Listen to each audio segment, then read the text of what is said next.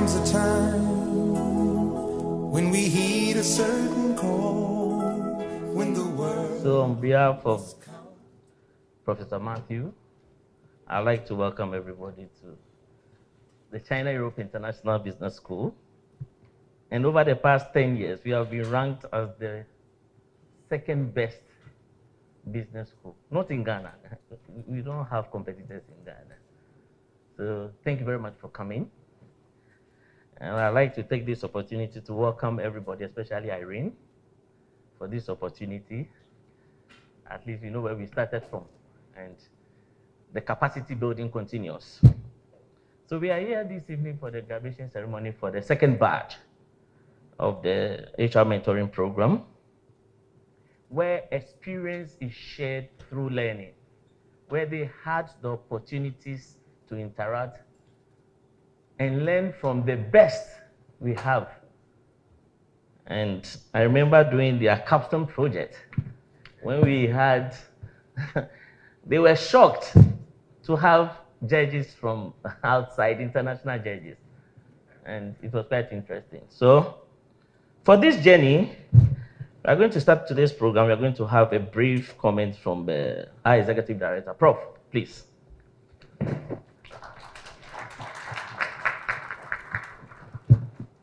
Right. So I think one of the interesting things these days is that because of the mass, you hardly recognize recognize people you know. So I was actually looking around trying to identify the mentees, and it was really, really difficult for me to actually identify them. So I wasn't sure whether they're all here or they are actually sent some representatives or those things to, uh, to come in. But I think for us as an institution, uh, this is probably one of the best decisions we've made. Uh, when we had this conversation with Irene about two, three years ago, I think about two years ago, if I can remember very well. And then we went for the graduation of the, the last cohort. Um, I think that was at Marriott. And unfortunately, yours is not at Marriott, but, but this is a better place than Marriott. And so we had a discussion at the time, and then we thought immediately this is the right thing to do um, to actually contribute to nurturing future HR directors. And for us as an institution, we would like to be associated with you individually as well as the, this particular program. So I'd like to welcome you all to this, what I would call very brief and short event. Uh, Irene, thank you very much for inviting us to be part of this program. And also, of course, uh, Nixon, who we've worked with on this program from the very beginning. And Mr. Saki, good to see you as well. Okay.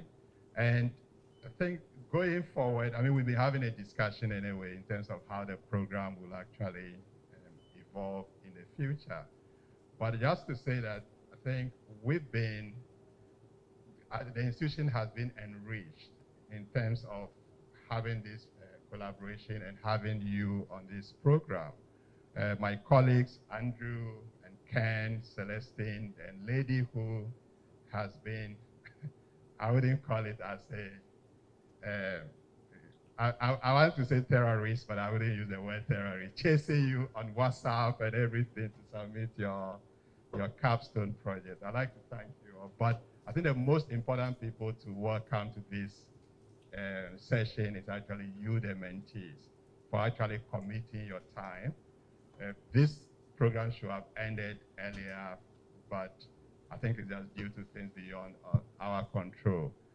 But even when we moved the program actually online, I think you were still committed. So this actually showed the dedication and your commitment. So thank you very much for being part of this program. And this shouldn't be the end of the journey with us and not with the program. And I'm sure when Irene uh, comes up here, she will have more to say about it. But I'd like to once again welcome you to this evening. And Irene, once again, thank you very much for inviting us to be part of this program. So enjoy the evening. I don't know. I've searched through the internet whether I'll find, and I've been asking around whether there is an HR program that helps to bridge the gap for professionals, and I've never seen any. And I remember doing their capstone project. It was during the COVID, lady, do you remember? And we have to call Laurentia. Where's Laurentia? And a group, they were supposed to have a call to defend their, their, their capstone. And some of the members, when the, the mic was on, she was shouting. And where's Theophilus? I remember the commitment was there.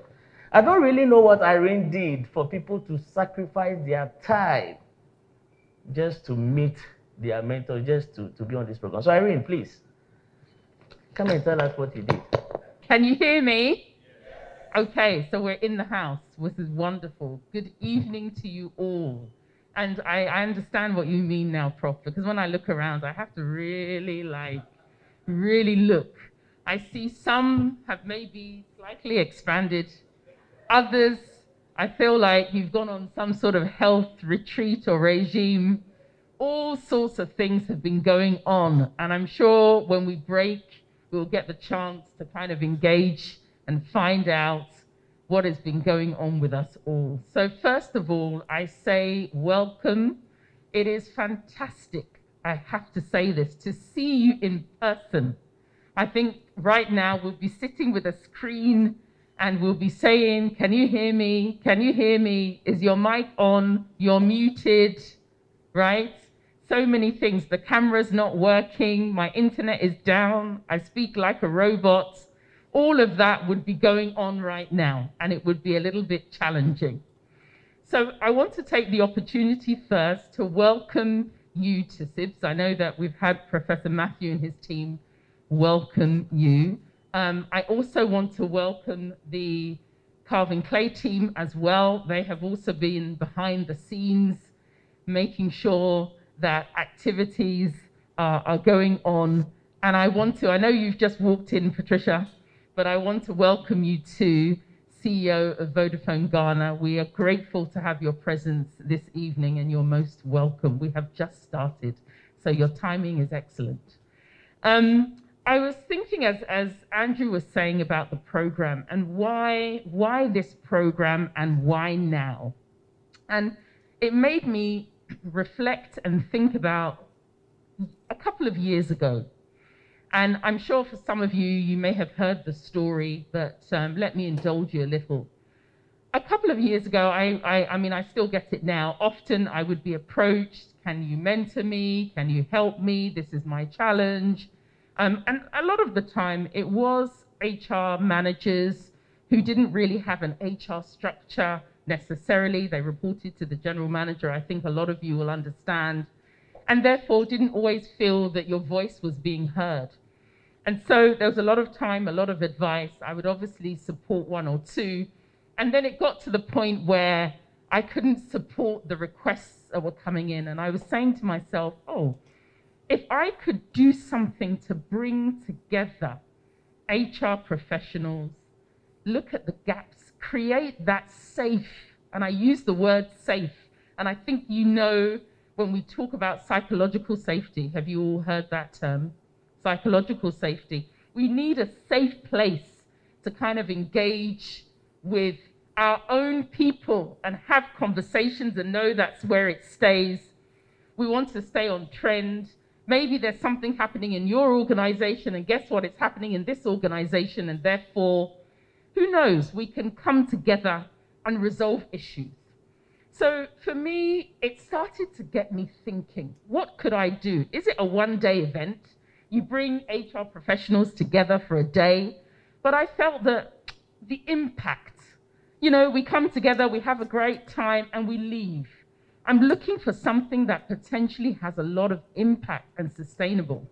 And I remember at the time, I'm sure I spoke to Nixon at the time and said, Oh, I'm looking to think about doing a program. And when I said, I think the program could be 12 months, I'm sure your response was, mm, was it's not going to work. And I remember saying, but if we could design it in a way where mentees could meet once a month, you know, resource personnel paired up with mentors, seasoned professionals from industry. And I remember, and I, I was getting some pushback from my team around this, but I was very, I think at the time, very determined to make a difference. And I remember going to IHRMP and having a conversation. At the time, I'd been awarded um, HR Practitioner of the Year, and going over to speak to IHRMP and saying, look, I want to do something back for the profession. I think that when you get to a certain level in your own career, you feel that you need to give back. So that's what I did. And they said, wow, this is a great idea. Let's come together. And that's really how the HR mentoring program was born, along with the support at the time of Tullow. And I think for me, it was about helping to bridge the gap. There were genuine gaps that I could see when I met and engaged with a number of HR professionals. And I could hear organizations also saying, we need stronger HR. We need our HR to be more strategic. We need more support and so forth. And so I felt that we were potentially bridging the gap. And 2019, you were the second cohort. You all know the process you went through to kind of take your seat. I still get emails sometimes where people said, I've applied for your HR mentoring program, Irene, two times, and I haven't been successful. So you're very, very lucky to be sitting in your seat. You've done very well to get here. There are many others that would love to take the opportunity. And we started in 2019. We are in 20 what? Wow. And here we are. So just as we were starting, we were sitting all in this room we were saying, oh, we've, we've, we've, kind of upgraded ourselves from the Tullow meeting room to CEIBS office, and we've got an auditorium. We were very excited. And then we had CEIBS on board, and we had a few engagements.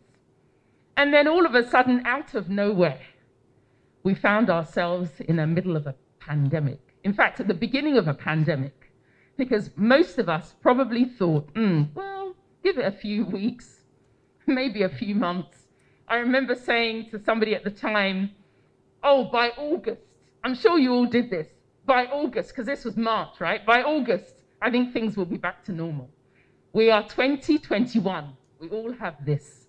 And we are in a new, new normal. But what's really interesting, so in terms of the experience, that had to halt. And all of a sudden, we found ourselves in a situation where, wow, we were having this face to face we didn't even start thinking about what it meant to be virtual and how would that actually work. So we were all scratching our heads. But guess what? At the same time we were doing that, I know all of you here who are HR professionals had a huge challenge. All of a sudden, where before HR, you're probably doing your thing, you are front and center of the organization. I'm sure your phone was ringing off the hook. People were ringing well being issues, restructuring, safety, how the employees get to work. Do we have a policy on virtual working? Do we have the resources and the laptops? How do we meet? How does it work? How do we get engagement? The list goes on and on and on. And I remember meeting some of you and speaking to a number of HR professionals about, my goodness, this is really my role as HR. And guess what? It hadn't been done before. So you can't even go to the manual and ask, so in this situation, what do we do? We were thinking on our feet, sometimes getting it right, sometimes not. And actually, you are dealing with life and death situations that puts a whole new perspective on our roles. And so when I look back at that moment in the time and where we found ourselves, you've been in the thick of it. You've really been going through quite a lot. And I know this year we celebrated International um, Human Resources Day, and I think absolutely very appropriate because what I find sometimes every leader, by the way, will have their own challenges and will be going through a lot to keep their businesses going. But I think as some, some of us who are the right hand person to those leaders, I have to say, I want to take a moment to commend you because I think that often we are overlooked. We are very busy looking at others and organizations and we don't often look at ourselves. So I think you should give yourself a bit of a round of applause because you've done an amazing job. Your organizations may not have said it, they may have taken some things for granted, but I know good organizations would absolutely be saying you were their rock. So we had the pandemic, and then obviously for all of us as individuals, that certainly rocked our world, and that really disturbed. But I take this and, and say to you, in my own personal career, all the challenging situations, and there have been many, I sit here and I may look as if I'm smiling, smiling. I have had stress just like everybody else.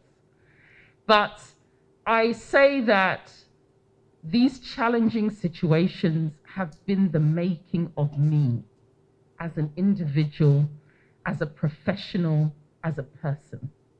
And I think it's important for you to reflect on that because sometimes you think you're going through quite a lot, and you are, but you need to take the moment to say, what am I learning from this?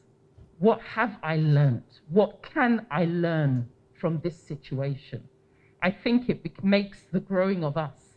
And if, as HR people as we are, it is these difficult situations that actually prepare us well for the jobs that we do.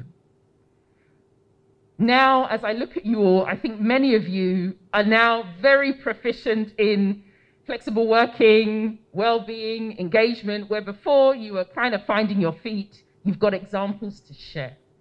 And I think that I'm really hoping that the program, through this learning, has also cemented that learning for you. You know, I think what is also important about the program is that instant relationship and the connections you now have that you didn't have before. If you didn't have a community of HR colleagues, you do now.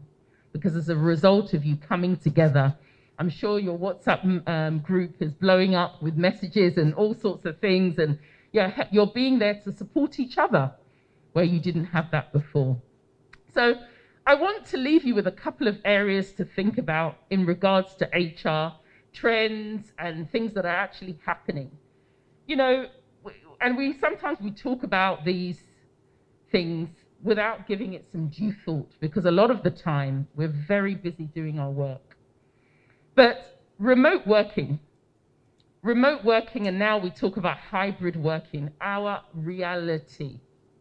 Before we said, oh, at some point we will go back, right? In, globally, there's big conversations about vaccine, no vaccine. So people with no vaccine, can they go back? Where do we stand? What's the legal ramifications of that? What's the policy on that? It may come to your doorstep. A lot of you are affiliated to multinational organizations. There may be a global policy on this. What, what are you going to do? Are you thinking about it? Is remote working, hybrid working working? Is it providing the solutions to business? What is your perspective on that as an HR professional? How do you add value? Have you been doing your research to add value should somebody like Patricia ask you for support and what your view is? Or are you now, now that your CEO has asked you, now you're going to run back and try and find out the information? Are you not part of the conversation? Leadership. Leadership attraction and leadership development. Leadership, generally put, is always going to be in vogue. You are always going to need to find talented individuals and actually, at a time like this, more than ever, I think it's important to also be up to date on the trends and the issues of the day, right? You don't want to be out of touch on various issues that happen, and you're not part of the conversation. And please think and look at how you can provide real solutions real solutions that make a difference to the company's performance and bottom line. Not because I hear too often, as for you HR people, you're just interested in your policy, you're interested in your timeline, right? As long as we have the appraisal process, it starts in October, it finishes by the 31st of December. Please, can you send me your form? You haven't filled the form in. We need to put it in the system. If we don't put it in the system, that's what the, that's the language we use. Not that how we how effective is that framework And is it working? We don't do that. And I'm sure some of you do, but. So I think it's important to continue the journey on development um, and, and continue to grow, continue to develop. Be, you have the opportunity to be the best, best version of yourself. Your development, as I always say to lots, is in your hands. Take charge. So I want to use the opportunity to say thank you very much to IHRMP because when we first started this, we wanted to be associated with an HR institution, and we've achieved that, and we're very grateful for the support that you you give us.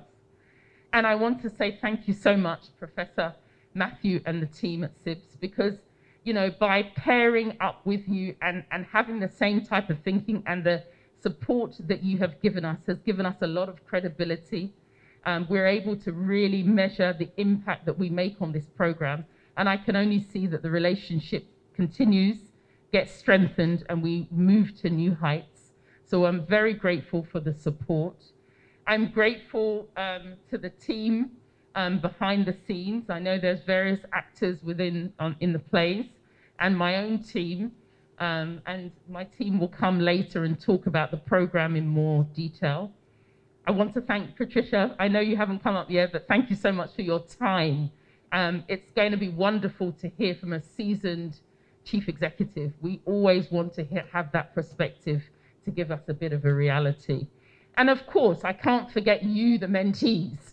Um, you've been committed, and even through these challenging, difficult times, you've been extremely extremely committed. And that goes also for your mentors. I mean, they have a lot of dedication, a lot of passion, um, time, and energy to support you through your journey. And I think I would say uh, thank you so much because without that support, I think the mentees will, it won't be the same. So, congratulations. I hope as mentees you have really learned something. You know, for me, what's important is your takeaway, your learning, your impact, what you've done, how you've done it, how it's made you a better professional. I'm looking forward to hearing all of those stories. And on that note, I say congratulations to you. Well done, Aiko.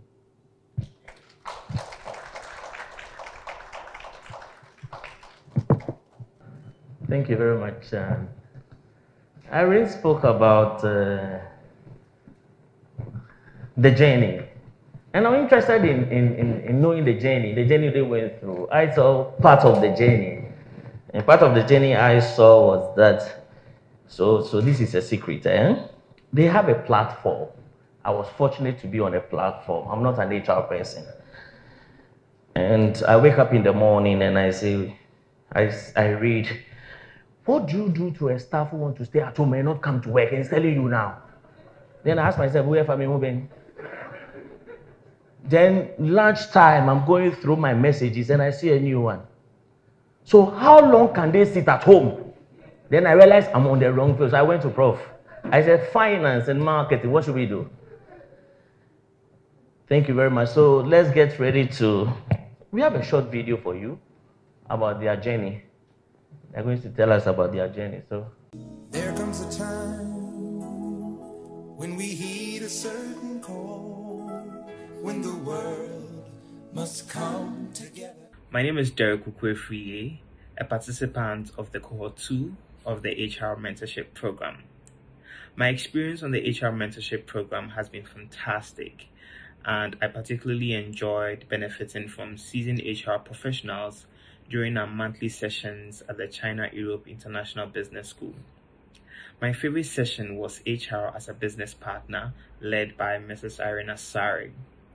Generally, my experience on the program has been a journey of self discovery, and I'm glad that I managed to build some meaningful connections with my fellow participants, whom I call friends now.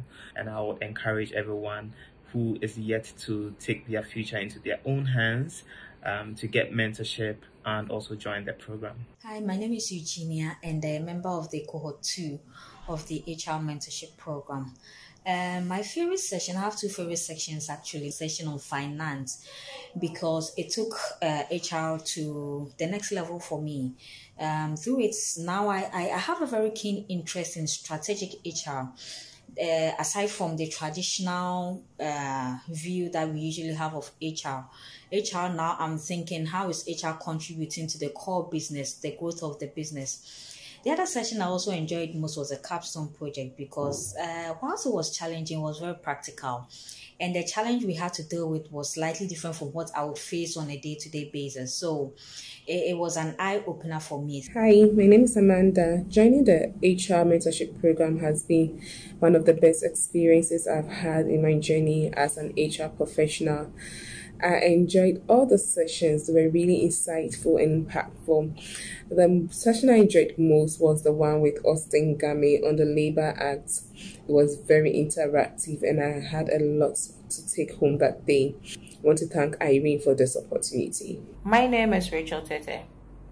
Joining the HR mentoring program has been impactful and a wonderful experience in my HR career growth. I enjoyed every aspect of the HR mentoring program, especially our monthly face-to-face interactions with the seasoned HR professionals. My mentor boosted my morale and confidence in handling difficult HR issues at work. To Irene, I say thank you. Long live the HR mentoring program. Hi, I'm Pamela Margaret, and I want to say that my journey on this mentorship program has been very rewarding. I've learned a lot. I've become a better HR person. Um, I'm a bit more vocal on my HR issues, um, where otherwise I'd have just been quiet. I know I have a strong, solid team members that I can go to when I face any problems. We've met wonderful mentors, teachers who have imparted a lot to us. And my mentor especially has been very helpful to me to still stay in touch with him. Thank you very much, Irene. Thank you very much, CEIBS, IHRMP, all the organizers. Hi, everyone. My name is Steve Lostaki Kombe, HR specialist at Plan International Ghana. Uh, for me, if there's one thing I've taken out of this program, it is the power of network. Through this program, I've come to know very seasoned HR practitioners both as mentors and mentees, and I've really learned a lot from them by sharing views and perspectives on various HR issues. My career can only get better with this confidence and network that I've you know really harnessed from the program. And I'm really grateful to Irene and all the organizers. It has been an exciting and riveting journey, getting the opportunity to meet and interact with top HR professionals and to tap into their plethora of knowledge. Every session impacted greatly on my career However, one session that I could easily relate to had to do with handling difficult conversations. And I say so because as HR people, as HR practitioners, we do find ourselves in situations where we have to deal and manage difficult conversations amongst our team members, with our superiors. And so that session really gave me insight into that subject area. I want to say a big thank you to Irene and the team at CarvinClay for putting this together. I say thank you and God bless you all. Yeah, um, good evening once again. Um, well, what can we say? Uh, we are so grateful for this one year that we've been in the program. Um, I've been asked to give a very short report, and uh, I'll try to do that very shortly. Um, our journey started when we um, applied to enroll in the program. Um, for, about 40 of us went through rigorous selection process, and eventually 23 of us were selected to take part in the program. And um, after we've been selected, we were, we were assigned mentors, and um, um, each of us were assigned mentors, and we had the opportunity to actually meet with these mentors and then learn from them. Um, the element or the various part of the program were um, the, the monthly sessions we, we had.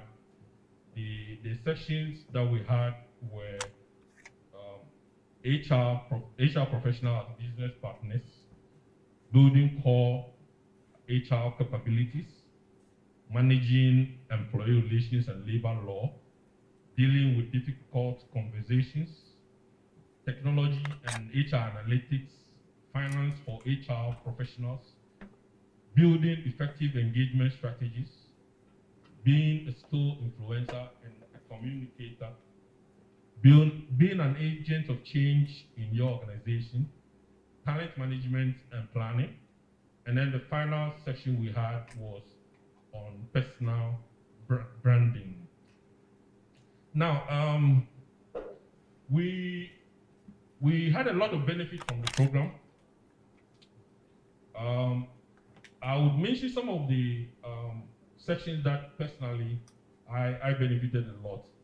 For instance, um, the the first um, session we had with Irene was on HR professionals as business partners. I, I, I, like I said in, in, in one of the conversations I had with my colleagues, After that time we, we came to the program, I mean the mentorship program, my institution was transitioning from um, the normal or the traditional HR you know, department to being a strategic HR business partner.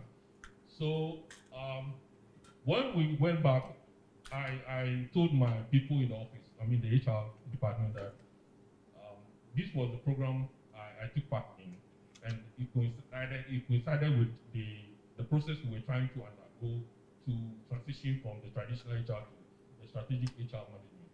And so I was tasked to um, present a report and then make, make a presentation on how our department can implement um, HR business partnership model in our organization. And I benefited a lot, like I said, all that I really thought as doing the, the, the, the um, were all that I, I was able to you know, relate with and then transfer most of what I learned into um, the presentation I made.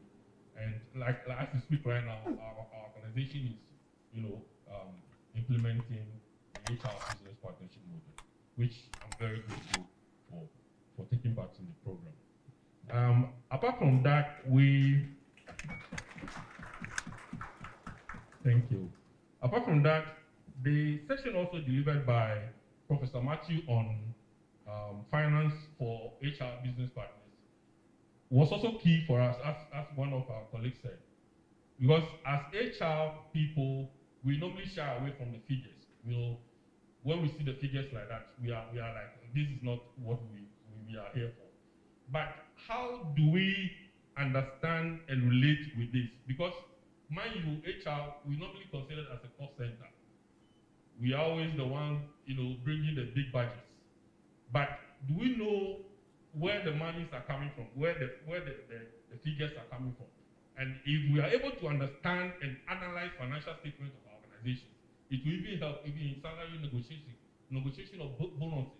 So most of us related a lot with that particular section because we went, some of us went back, we went to the finance department, asked for the financial statement of an organization, and we were able to do, do some analysis to see whether our organization is financially you know, stable. So that is also key for us.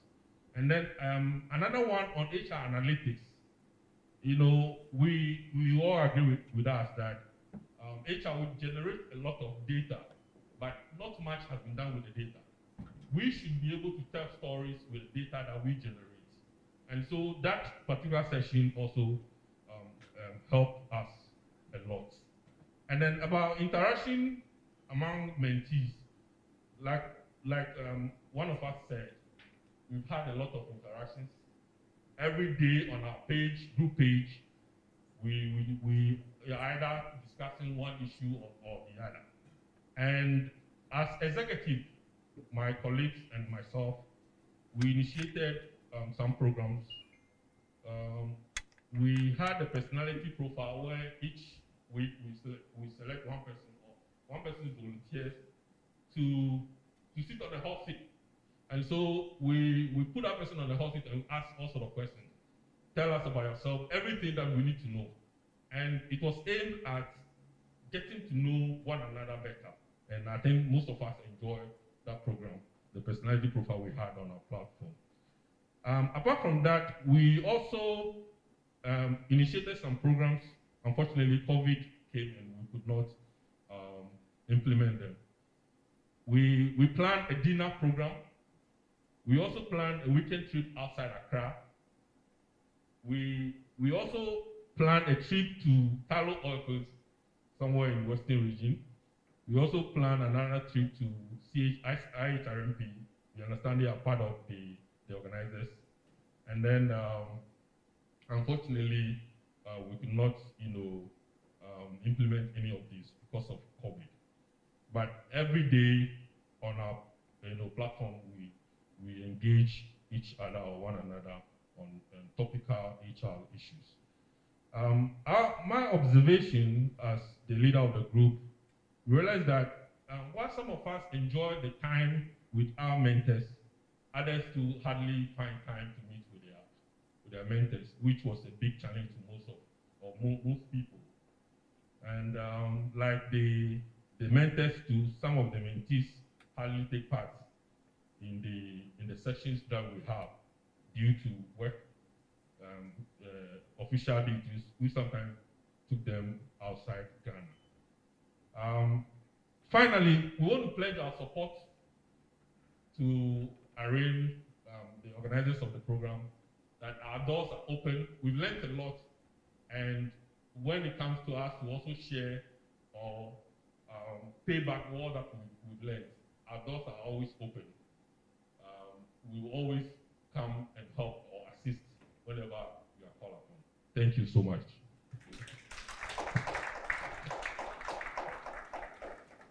Thank you very much, Daniel. And I remember the the first time I met Nixon at Tullow, we were supposed to discuss this particular cohort. And you passed a comment that they shouldn't just pass through the program. We should feel it through their conversations. Then I looked at lady. Said, what is he talking about? But now I can feel it through. Papa, where, where are you? Papa, cohort one, where is Papa? Please come. And the kind of serious conversations, I wish you're on their platform, on key issues of national development. Initially, when they started, you realized the issues were just as of Kotoko. Now they've moved on. Papa, please. Good evening, everyone. My name is Papa. I'm the head of human resources at Global Media Alliance. It's a consultancy, PR events consultancy, and we have media houses as well. I heard about the um, HR, so I'm from the first cohort, and we got the notice of the invitation today. Um, I saw it in the afternoon, but it's along my way, and it seems none of uh, other cohort members could make it, so I volunteered to be here at least so that we have a representative from the first cohort. Uh, I want to congratulate uh, the second cohort for going successfully through this very intensive, interesting, and educational program. We had 13 months of intensive uh, meetings, the monthly sessions, and then interactions with our mentors. And like your leader said, some of the mentors were not really able to work with the mentees, but there were some who were really giving us a lot of grueling pressure. And my mentor, for example, did just that, if not more. I must say that uh, when I joined this, or when I applied, I had worked in HR, but I didn't have any formal training. So I was somebody walking in the desert looking for water. And when I heard about the uh, mentorship program, I decided to apply. I met Nixon and one of my seniors from school on the panel. We had a very interesting discussion, and luckily for me, I was selected. It was very educational for me. One of the reasons why I wanted to be part of it was because I could network and meet other HR practitioners because I hadn't met anyone. And I was still contemplating going to IHRMP. But every time my mentor, whenever I asked a question, she would say, why don't you go to the school? why don't you go to the HR center? So as just when we're about to finish, you know, I had applied and I got into IHRMP. So as soon as I was done with the mentorship, I started there. And it has really changed my whole perspective and horizon on HR. And I realized that that is where I am really meant to be in our group. I want to say a big thank you to Irene. So I wish you all the best. I congratulate the cohorts. I want to say a big thank you to the mentors as well. The, uh, the first cohort exists. We also have a WhatsApp platform. In fact, we had an interactive session, I think two months ago or so on Zoom, and it was quite interesting. So we are hoping to organize a few more of those. So hopefully I will get your leader's number so that we can interact. It will be a good opportunity for all of us to network as well, broaden your spectrum of HR practitioners who you know so we can get advice and learn from one another. Thank you all for this opportunity to speak. I wasn't built to, but Irene was gracious enough to give me the chance, so I'm very grateful. Thank you. You have been doing the Vodafone SME for so many years. But today, the chief executive is here. Please, you are welcome. Give a round of applause. Good evening, invited guests, HR practitioners, ladies and gentlemen. It's a pleasure to be here with you this evening and let me thank you for inviting me to be part of your celebration today and to share in your joy. Let me take this opportunity to commend Mrs. Irene Asare and her team for this great initiative and thank the China Europe International Business School and the Chartered Institute of Human Resource Practitioners for their support. Human resource function has become increasingly crucial as a result of this pandemic. To put it in the right perspective, the role of for you as HR is now one of the most sought after in any organization worldwide in this unprecedented times. Besides the general employee well-being and safety, which is paramount, organizations and their HR leads have been focused on productivity, talent, and skills. Many are considering how to adopt hybrid working. In fact, for Vodafone in Europe, they are considering, we're not going to do the 100%, but it's probably going to be 60% working from home and 40% in the office. However, in Africa, we're considering the reverse because of power and connectivity issues. People would work 40% from, the, from home and probably 60% from the office. We have been working from home since March 2020, and it actually has been one of our best years um, ever in terms of performance and productivity. However, we missed the social interactions. And so in May 2021, I actually made the decision that guys, we need to come back. I've missed all of you. And because of the, the pandemic, we still can't have everybody in the block, so we show up once a week. You come and then you have discussions and interactions with your friends. It's not about productivity again, because like I said, we're able to achieve a lot with everybody working from home, including my call center. But now it's about collaboration. It's about the social interaction because we are social beings. In fact, when I have my exco with my team, we could have a three-hour serious conversation online on Microsoft Teams. We'll have a productive meeting, that's the end. Now I said every Monday we come to the office, and believe me, we could do three, four, five hours. Because two hours of that will be chatting and turning to the other person and saying, talking about something else. And as HR, they will approach you and say, I still can't deliver sitting at home. And you have to make sure this clock that you have been run, running on diversity and inclusion, inclusion, you do not reset that clock. You continue to promote it, even in hybrid working.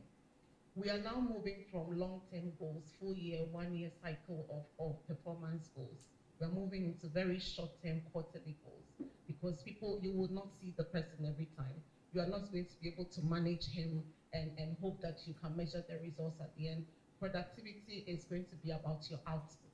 It doesn't matter what the person sits if you focus on very short-term deliverables, you can have very close interaction with this person, whether he's online, offline, um, whether he's in person or, or online, and you'll be able to. This is one of the key topics that we are discussing as a company on how we now set um, goals for, for the organization.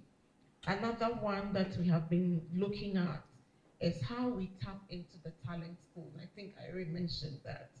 During the pandemic, I was looking for two very key resources. And in the past, it was going to take forever to take, these guys are going to have to serve so much notice. And then I have to work with our international mobility team on how to bring them to Ghana. I have to work on permits. It was just going to be a six month journey to get one talent. And I really, really, really needed that key resource to join my business. Were two of them. Guess what? I had the interview online. It's taking a year before I met the guy. We had a conference and the two of them showed I'm like, okay, you look like the guy I interviewed, but you have been delivering in a company for for for months. Um, it's been easier now for people to resign and to join the team. It's flexible now because people will have time to join their families. Just last week, our group HR was sharing with us a survey that 41% of employees will resign. And they will resign because they will look for companies that are willing to support them on remote working because they have seen that it is possible. So if your organization does not adapt, your organization is not ready to, to accept the new way of working and rather put policies in place to measure productivity, people will leave you. And I hope that as HR practitioners, you are ready for this change. Let's talk about culture. Employee engagement is going to now become a very strategic imperative. You should have a plan on how you are going to engage your workforce, keep them energized whilst they still work from home. I just talked about discrimination. When you start to engage and you say, I want to organize a social event, just remember that you have given two people the permission in the team to work from home and make sure they don't feel discriminated against because they, they need to feel engaged, they need to feel energized, they need to contribute very positive energy. When I was appointed in 2019, typical, I, I got my, my assistants, my HR, we went around the country, we met people face to face. I've been working in the organization for years, but then interacting with the people, getting feedback, we met in the, various regions, right, the whole country, and that was the style. And then after that, we came up with our strategy, we did the road show, we went around to explain to everybody, and then we started discussing performance. And every quarter we'll do a show, and then pandemic hit. And actually, I have engaged this organization more than I could ever have done before the pandemic. Every month. Now I don't meet the regions. I don't travel with my experts to every region.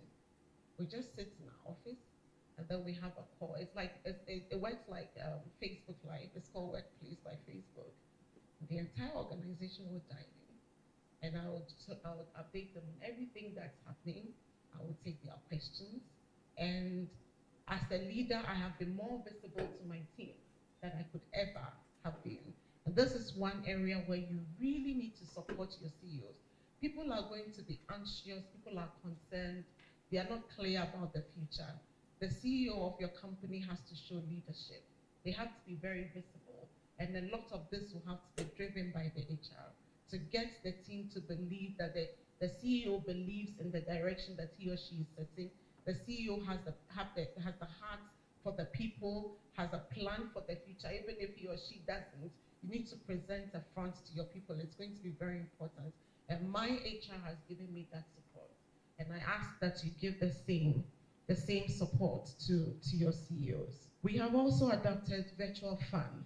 It will shock you that we've had what we call, we call it the Red Connect. We have seasoned DJs and they play online. People bring their drinks online. You will see they turn on their videos and they dance with their families on Fridays. Yeah, we have DJ Vyrusky, we have DJ Black. It's been fun. They play, we have like music, music, song requests online. You pop the song. And sometimes we use it for fundraising. When we supported the Art Foundation, we raised almost 10,000, uh, no, 50,000 cedis online. Just you request the song 100 cedis, hey, Patricia 50 cedis here and there, then we raised 50,000 cedis online. It's been fun because you get every, suddenly I have Kumasi, that not everybody on one call just having fun. We've also had movie nights, virtual movie nights. We've had comedy shows. OB Amponsah has been visiting us online, and we've had great sessions. We brought in chefs. You know, people are sitting in the house and very stressed out. We are not going to gather them for a long time, even by the restrictions from, from the president. But how are you going to keep your organization engaged as HR? You, we brought in chefs, they were online, people were cooking from their homes, and then they posted the pictures. And these things, if you look at our engagement score, it's been on an all-time high, even without seeing human beings. And it's because we have been very, very deliberate about how you engage. As a leader, you are going to have to influence people to get things done. And you can influence people if you have built relationships with them. You are not be, going to be able to see them to build those relationships, unfortunately. I'm seeing my team once a week. So how you are able to use the online tools, not just for meetings. This is the biggest, one of the biggest frustrations that online engagements is bringing up. People are engaging for meetings. You dial in and the PowerPoint starts. And it runs throughout and then thank you everyone for joining and the call ends. We have to turn some of these online engagements into collaborative sessions where it's just a huddle, where it's just a check on what's happening in the function, where people are, are, are, made to turn on their videos so you can see their families in the background, where people are made to feel connected to what is happening. Because collaboration is a strong tool that you can use to drive change in your organization. It has really worked for me.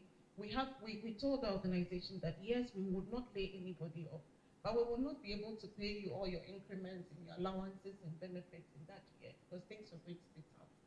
Yes, we did the salary, we did the salary raise, but when I, I sent a notice, I had this um, um, work, work, workplace life call with the team, and I broke the news to the organization and said, in this year, this is what will happen to your allowances, and this is what will happen to your salaries. Would you believe that I got so many messages of, it's okay, Patricia, we understand this is when people should have gone on strike.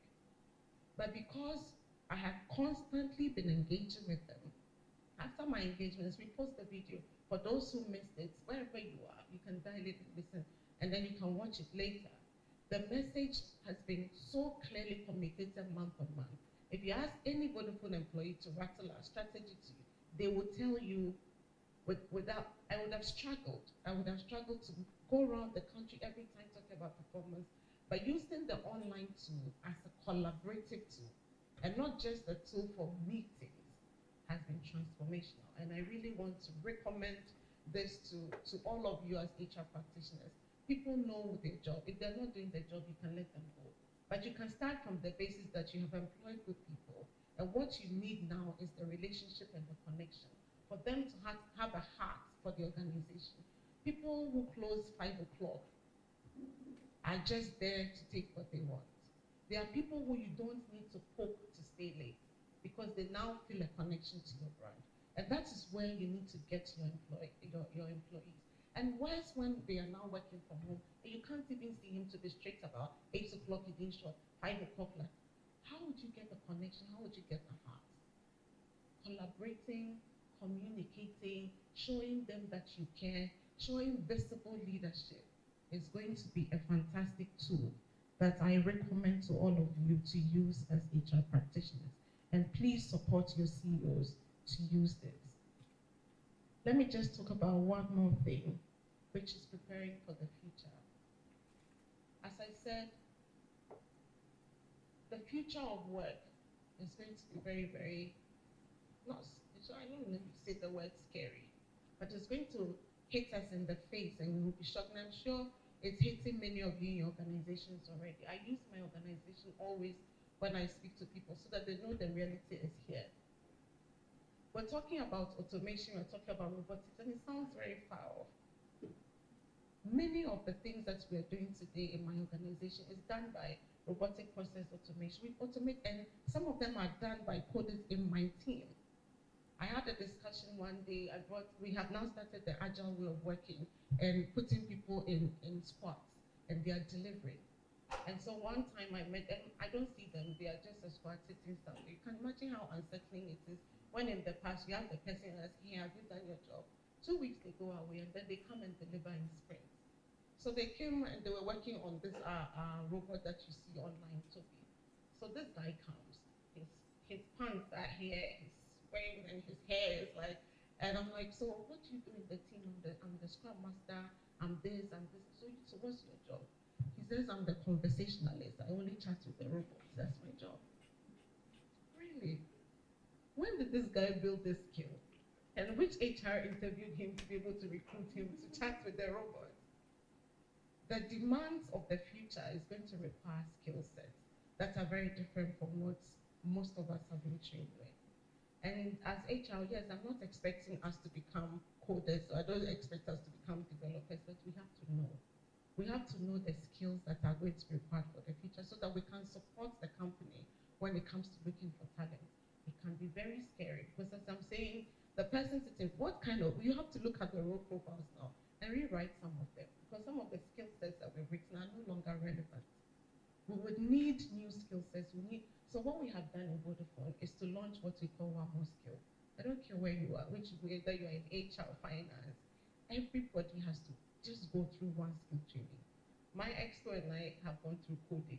Believe me, I don't want to become a developer. I have but every every one of my exco, we sat down and we, we brought the trainers into the room and they taught all of us full day session how to code. I think my HR had the nicest web page when we went down, you know. But it was very like, why am I learning this one? But it helps you to understand what the skill is, what it looks like, what these people have been talking about. It just helps you to know what's out there. We, we have agile training, we have robotics, we have um, Internet of Things, we have big data, and it's all online and it is mandatory for every employee. Every employee, by the end of this year, you should have taken one more skill training. If you can do two or three, that's fine. It's not because you become an engineer, it's not because you want to become a developer, but you have to know where the world is, is getting into a lot of the jobs in my call center have been taken by this robot. It is more efficient than any any any anything that any human being can do. So what do I do with the skills? What do I do with the human beings who were sitting in my court? This this thing is not far off. It is right here with us. And it is important that as HR, as Irene said, we need to start looking beyond the today. We owe it to our company to start bringing experts into the company even if we don't know, just find the experts, let them come, present to the expert, set the mind, set the thinking around where the world is going. So that when the time comes and you have to make the change, it is important and you'll be able to do it. In conclusion, you have chosen a unique field that has power to help organizations develop a very competitive advantage by effectively managing people and performance. Businesses without a good people strategy will simply fail. May not be able to predict the future, but we rely on you to help us rethink our strategy and what we do today in order to survive tomorrow. Take advantage of the crisis to address some of the fundamental HR challenges in your organization today in order to remain re resilient for the future. I wish you the very best and congratulations once again.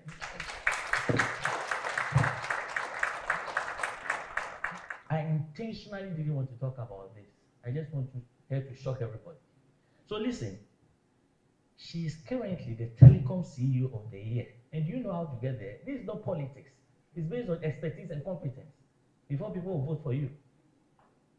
Please. Secondly, should I continue? But there's something I learned today. Patricia 101. Future of work, automation, skills, soft skills, which you need. What are they? You yourself, if you don't know the skills as an HR person, how will you even employ the person? How? Patricia talked about inclusion, remote of work. Develop an engagement plan, not just giving instructions. HR, my boy, they working. Morning. No! What is your engagement plan? And interestingly, Prof, we need to do this. The Saturday call, the evening, the virtual, you cook. Since you are starting immediately. So please go into your individual organizations and go organize that, especially Patricia for you. Eh? Theophilus actually changed job when he joined this. And he's now HR specialist. Please organize the, the show. Then let them drink something. and we should know how to turn our online sessions. We have closed presentation. No, start that on Monday. No, start that tomorrow. Free advice. You don't get it anywhere unless on Irene for HR mentoring program. So keep it at the back of your mind. So let's move quickly to the presentation of uh, certificate to the graduates. Rachel Ajelitete. She's the transport, she works, she's the HR manager at Transport and General Holdings Limited. Please give her a round of applause. I've graduated and I've never had two very important personalities giving me one certificate. You can only have it on this program. Hannah Adwa, Hannah. Mavis, Hannah. Mavis is the HR manager for Just Investment Global Limited. Give her a round of applause, please. Andrew. Andrew used to work with uh, a bank. Through this program, he's now the deputy head, human resource, food and drugs authority, Ghana. It was very troublesome, this gentleman, yes. Andrew. Eugenia. Eugenia Forcing.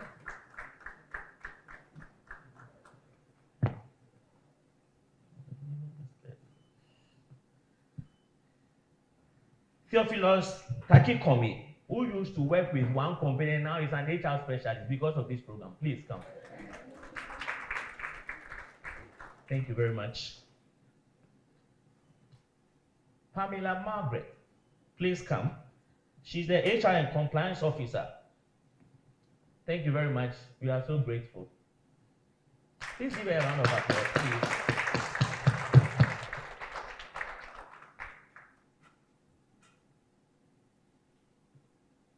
Thank you. Purity. Yes, ICGC, HR officer. During the custom project, you had issues with the church, right? Thank you very much. We are grateful. Thank you very much. Alexander, please. Thank you very much.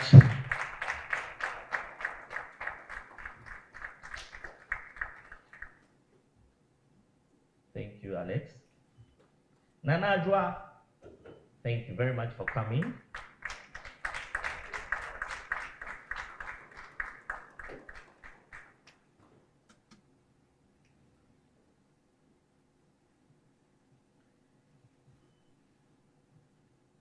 Elizabeth, thank you very much.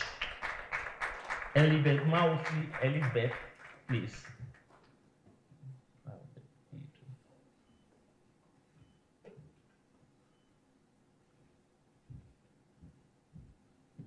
Thank you. Albert Edu He's a National Fire, Ghana Fire Service officer. He posted his picture on the page and I was scared. Thank you very much. Thank you. We are grateful. Laurentia, please. Laurentia Jifa Asari.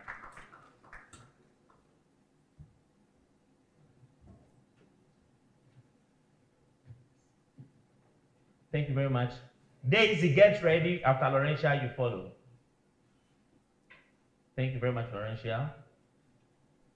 Daisy Mante. Okay. Janet Adole Boy. Janet Adole Boy. Thank you very much. Thank you very much.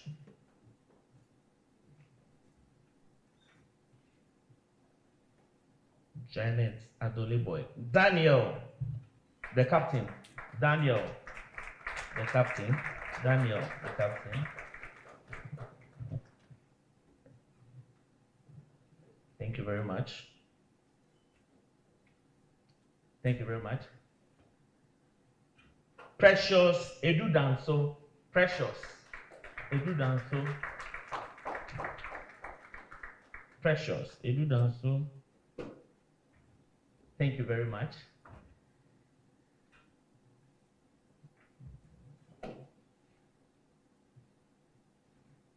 Thank you. Kweku Ofe. Kweku Ofe. The Regional Human Resource Officer for PBC Limited. During the interview stage, we asked him, How will you be attending the sessions? He said, I have no choice. I've saved for it. This gentleman. Please give him a round of applause. Because he lives far away and doing the capstone project, anytime you call him, there's a problem with his network. And he will tell you, I'm using Vodafone because Patricia is here. Thank you. Let's continue. Alice Amanda Band. Alice. Where is Alice? Thank you very much. Oh, it's the truth. You can ask him. It's the truth. Thank you very much. Alice, thank you. Derek Kweku Efiye. Derek Kweku Efiye. Thank you very much. Is the Regional Human Resource Associate for Food and Agriculture Organization. Thank you. So we have two precious, a lady and then the male. Yes, please, the gentleman. Precious. He works with Alisa Hotel. Thank you very much, Precious.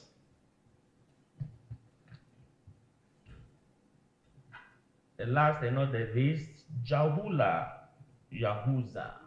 Thank you very much. So this gentleman worked at uh, Teaching Hospital. He never missed, eh?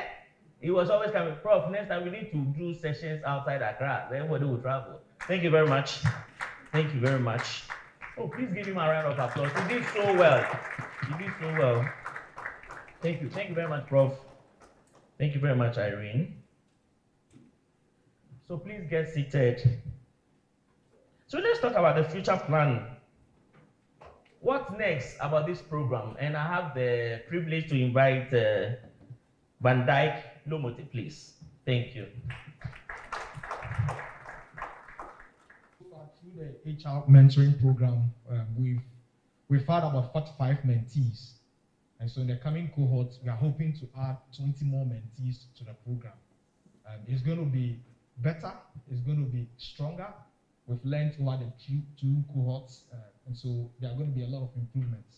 Just that this time around, it's going to be for six months instead of the 12 months you've experienced. So, um, as it has always been, our objective is simple. Uh, it's, it's, it's, just to help raise and shape a new generation of transformational HR leaders. Um, the world has changed um, from what a keynote speaker said. Uh, we, we, we, can all relate to that. And so, um, there, this is even a better time to have a program like this. And so, we are still committed to our objective to help raise and shape the new generation of HR leaders in the country and beyond. Um, this time around, the program is going to focus on three key areas. One area is going to be on the area of personal leadership development, because uh, the basic understanding is that you can only become an effective leader if you lead yourself well. And so, one focus is going to be on personal leadership development to help the mentees uh, through the process of developing strong personal leadership. Uh, of course, we are going to focus on some HR knowledge areas through the program and then help mentees also build key HR skills as part of the program. Um, so we've done some little restructuring to the program. Uh, you used to have about 12 different models. This time around, it's going to be six very strong areas. One of the key things that a keynote speaker mentioned is uh, everything has changed. A new set of skills is required from the HR professional. So one model is going to focus on the bold new transformational HR leader. In this particular model, we are going to consider what are the set skills that are that is required um, to be a transformational HR leader in this disruptive times. So one model is going to focus on that. One of the key models that we've introduced um, coming cohort three is developing personal leadership um, and also current trends in HR in the future of work. So these are three new models we've introduced. We still have the HR as a business partner, the HR leader as a change agent, and then finance for HR leaders. It is going to be very, very wonderful. Um, we still have our six key delivery methods. There are going to be case studies, one-on-one mentoring, assignments and readings um, to help participants engage with thought leaders on key HR issues monthly interactive facilitation, There's going to be a capstone project as usual. And at this time around, we're also going to have a guest lecture uh, as part of the program. Um, the program this time around is going to have 20 participants in total, drawn from diverse industries. 50% of it is going to be virtual, and 50% of the program is going to be in person. And as I mentioned earlier on, the program is going to be for six months without eight meetings in total. So these are the key timelines regarding the program. Um, application is going to be opened coming 7th of July. So what we ask of you is that once the application is opened, um, just spread the word to your colleagues and your friends that may be in other organizations. Deadline for application will be 28th July, and we hope to commence the program on 20th September and 30th March 2022, the program will end. So these are the critical timelines for the program. Um, we are still in great partnership with CarvinClay, and the CarvinClay team behind Irene Asare um, is still one of the key partners of the program. And the China European International Business School, our strong partners, will still be part of the program. And then the Chartered Institute of Human Resource Management practitioners in Ghana will still be one of our key partners. So this is what we have coming cohort three starting this September. Um, it's going to be massive. It's going to be powerful. Um, we hope that through this program, we are going to raise the new set of leaders within the country, shaping the practice of HR. So this will be it for 2021 and 2022. Thank you very much. For the past 10 years, we have been ranked among the best, and our MBA is the second best I'm repeating it.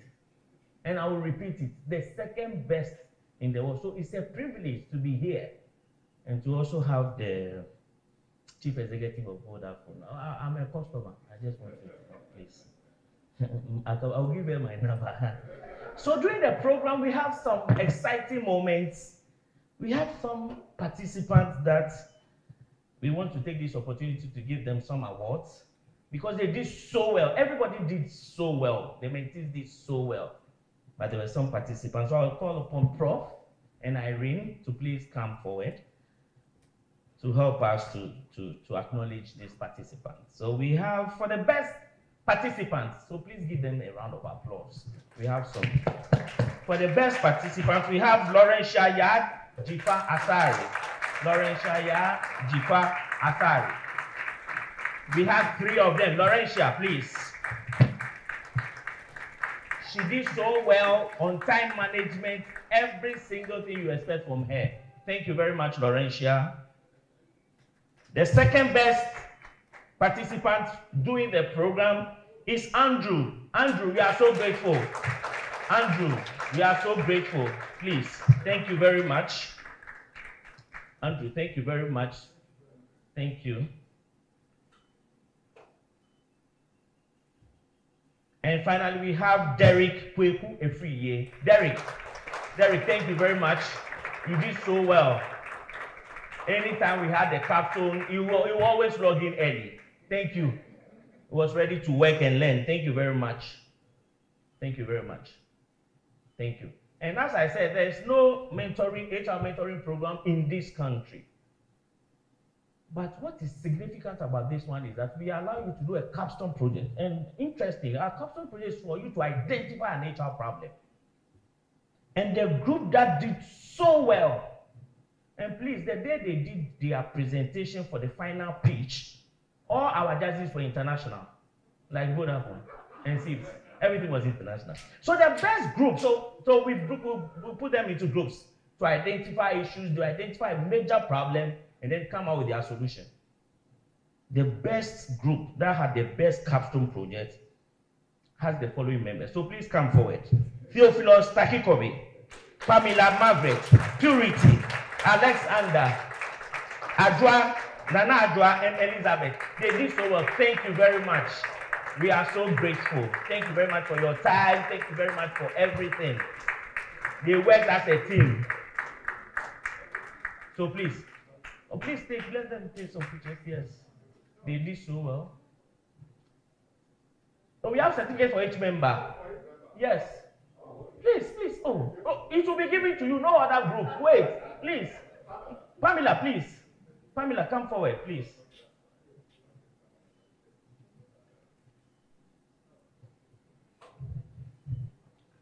Pamela, Purity, Alexander, Purity, Alex, Nanajwa,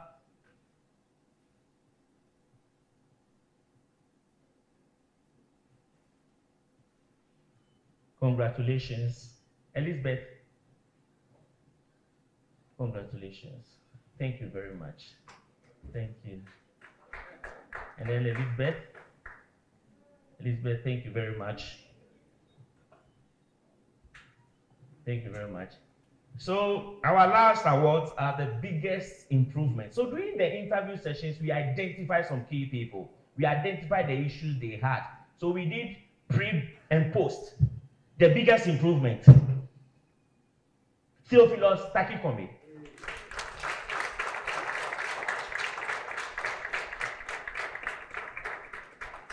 Purity Aram. And Mr. Precious Dew. Give them a round of applause. Prof, thank you very much. Oh, oh, sorry, I'm sorry, I'm sorry, I'm sorry. Thank you very much. Prof, thank you. Irene, thank you very much. Please give them all a round of applause.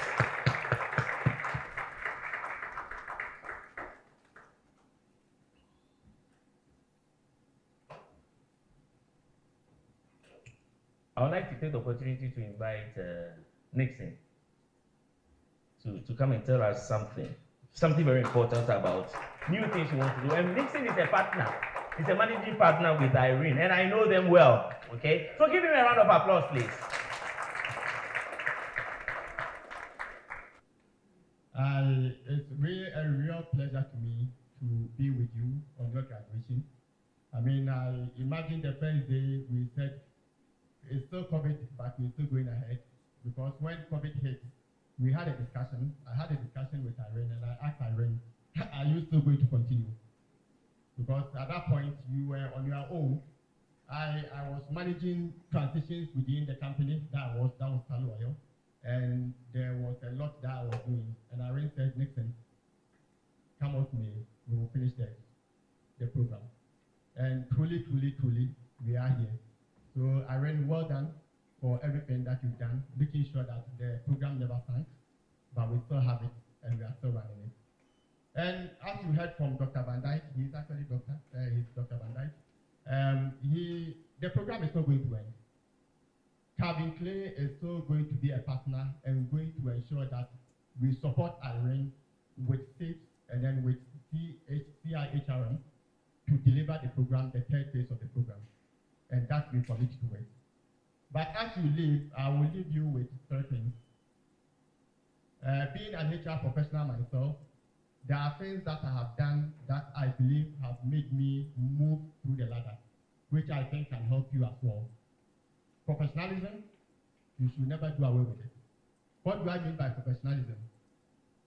Being competent at what you do, knowing your subject matter, making sure you understand the core areas of HR, and not just knowing them, but how you deliver them as well.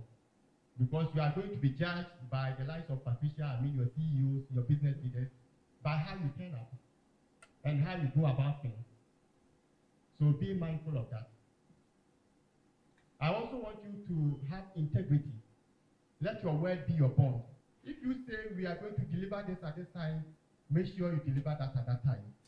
So have that integrity within the business so that your employees that you support, the business leaders that you support, will all believe you and work with you and adhere to your advice. And then the last point I will make is that you should be courageous. It's not easy. Some of the decisions require boldness, and you must exhibit that boldness when it comes. You should be courageous in the work you are going to do. I also pleased when many of you touched on the fact that crucial conversation was one aspect that you picked from the course, and you are going to need it. And when it comes, do apply. All right. So that, that is my advice to you. But the world of work has changed, and we need to adapt to it. Things are not going to be the same. Patricia said in their work, at the group level, they are looking at 60% of the time working from home and then 40% in the office. In Ghana, they are looking to do the reverse. If you read a number of researches out there, there was one I saw with PwC, there was one I did in my own company, and most people said we want to work between two to three days from the office, which is the same as two to three days from home because there are only five days. So if you work two days in the office, you work three days from home. So that, that, that is what we are facing with.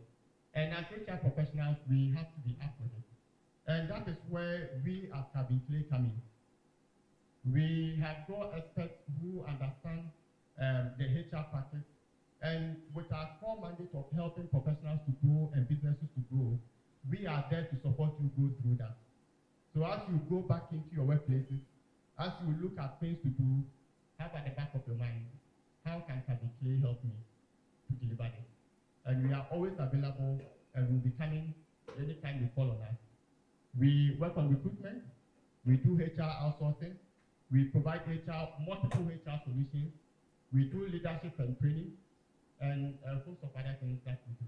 And so when you need that support, I know I can count on you. You are going to call us to help deliver. Already, some of you have contacted us.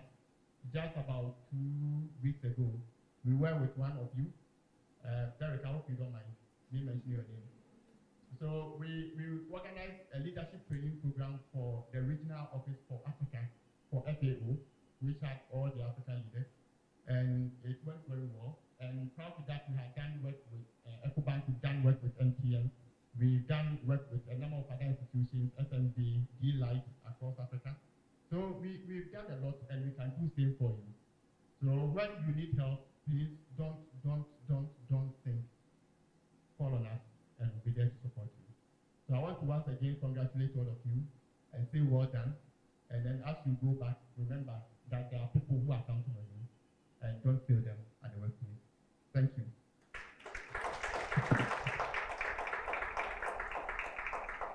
There, there's one program that we are launching uh, in July. So come first July, we are launching the program. And I want you to know that we will be doing that every month. It's called Learn at Lunch. We want to promote the idea of professionals taking their leisure time to learn something new. The first session will be on emotional intelligence, and we'll follow that up with topical issues that will help professionals grow. So we will need you to uh, take a look. We will be coming to you. We will be posting them through our social media handles. And when the time comes, as gatekeepers, we will need you to nominate some of your employees to join. If you want us to run for your organizations alone, we are very open and we can do that for you as well. We'll itemize all the topics that we'll be doing, which can help you to plan as well and see how best you can let your employees and your leaders take advantage of them. Uh, as gatekeepers, we'll be opening up to you as well, and we will entrust that you will join as well. So that's one piece of information I want to add on to what we do. So if you want productivity at lunch, if you want to grow your company during lunch break, if you want to enhance, if you want effectiveness, think about that. They are here, and I know them, and I'm endorsing them. Now, I would like to call on Derek Efriye to come and give us the vote of thanks. Derek, please give him a round of applause. Ms. Irene Asare, the brain behind this initiative. It has been a life-changing experience, and we are ever so grateful for this opportunity. A special thanks also goes out to the team at the China Europe International Business School and the IHRMP for their great support throughout our journey, especially Prof. Professor Matthew and Lady, who have been very instrumental right from the scratch. I would also like to say a very big thank you to all our amazing mentors who have dedicated their time and efforts to develop our skills, behaviors, and knowledge. We say thank you for all the sacrifice. I must say that I cannot leave here um, without showing our profound gratitude to the seasoned HR experts who delivered valuable sessions on topical HR issues which we are now leveraging in our various organizations to add value. To all the cameramen, the technical team who always work behind the scenes to ensure we had a seamless session every month, you were definitely amazing. It is often said that gratitude is the altitude that takes strides to your altitude. And so on behalf of my fellow graduates, those present and those who couldn't be here with us today, I'd like to say thank you for being here with us and to also render all of the sacrifices, the time, the effort, the opportunities to really build us uh, our capacity in various ways. To all my colleagues, I say the relationship shouldn't end here. This should be the beginning of a valuable network of the best-in-class HR practitioners in Ghana. Thank you all for the connection. Thank you all for the great journey. Thank you all for building our careers, and we are definitely going to make you proud. Thank you. Now, sorry to take your time, but um, we have a little presentation to make, and I'd just like to call, and then Andrew as well, if you have the presentation here.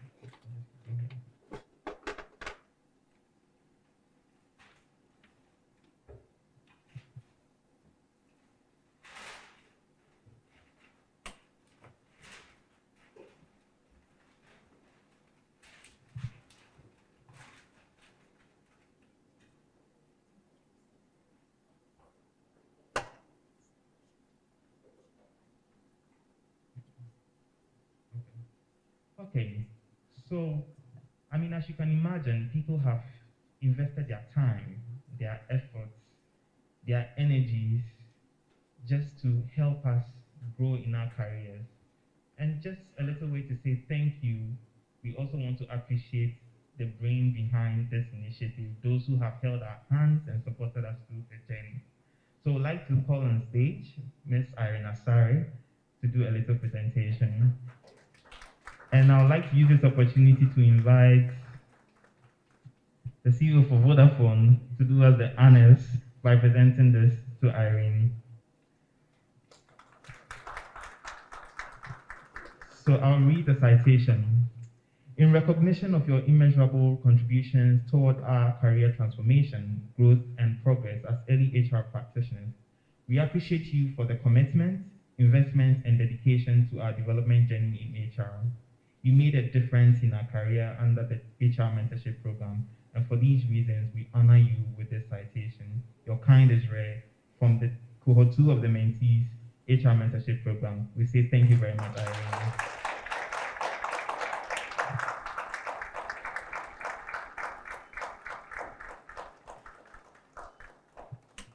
And that's just not it. We also have a plaque just to appreciate you. Let's give her a round of applause.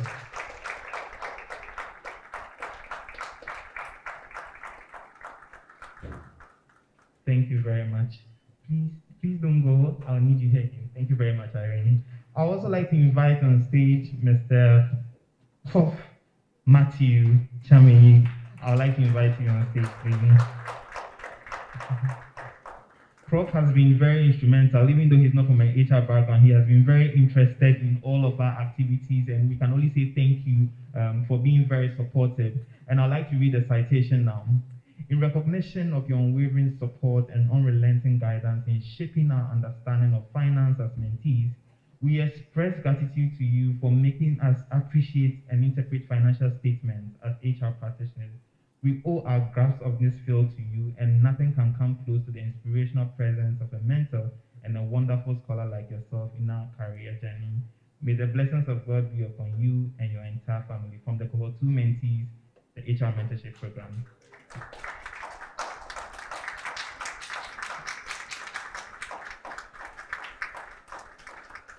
And we also have a plaque for Prof and would like to apologize for adding an, an additional T to your name. We hope that you forgive us for that. But thank you very much for all the sacrifices, for all the involvement, and for all the support throughout this period. And last but not the least, I mean, it would be unfair for us to leave here without appreciating our big sister, Lady, who has been very instrumental. We'd like to invite Lady on stage. She's been there throughout from scratch, right from our interviews, coordinating us, and we can only say thank you very much, Lady, for being very helpful and for for, for, for, for really stunning our stress and for the troubles that we've given you. We, we are really sorry and we are really glad that you didn't leave us. So we'd like to read the citation in recognition of your seamless coordinating prowess during the 2021 HR Mentorship Program. We say a big thank you to you for your support and kindness. And with our fondest gratitude, we honor you with this citation from the Cohort 2 HR Mentorship Program.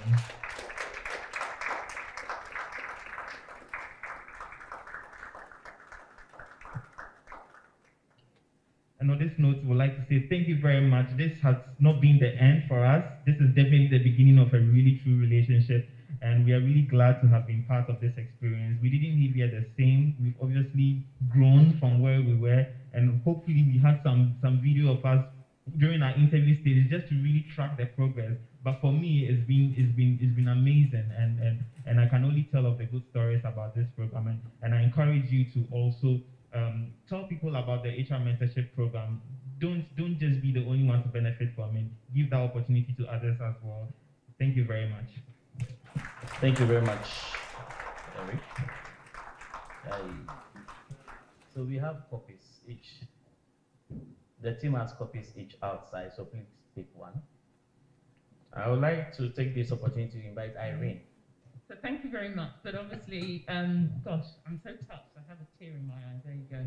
So um, I, I, I do what I do because I believe very strongly in impact and giving back what others in my career have given. Can you hear me well? Yeah. Um, I believe in giving back what others have given onto me at some point in my career.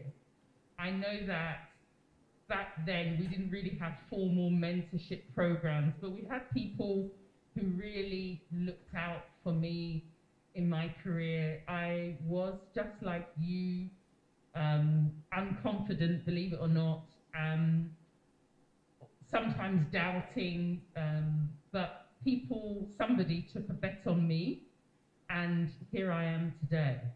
And I think that being able to have this network and opportunity um, for you all is the is the little I can do to give back. Um, I know the profession is challenging, um, difficult, but also extremely rewarding.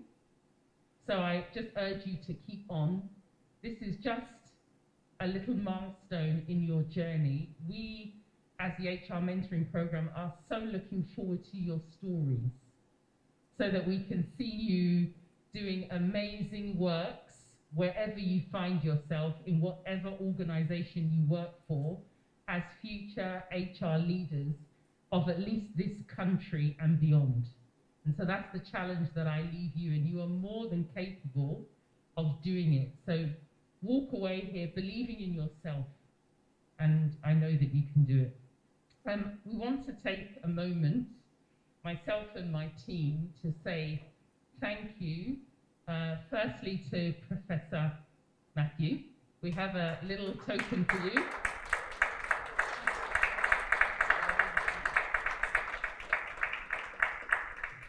Just to say thank you very much. Your support is always unwavering and we truly appreciate and we appreciate the power of education, development, growth and we look forward to the journey ahead. Thank you so much. Thank you. And I want to just um, ask Patricia, we have a little something just from us to you. We know your job is incredibly busy. Um, there are many things, many places that you could be, but you chose to come and be with us. We're very grateful. Your insight, your sharing, your leadership journey, your vulnerability, you know, has been amazing and immense and certainly has impacted me personally along with many others. Um, and we truly support you as uh, the CEO of uh, Vodafone Ghana. We wish you all the very best in your journey. We know that you'll continue on, onwards and upwards. And we are right behind you. So we say thank you so much.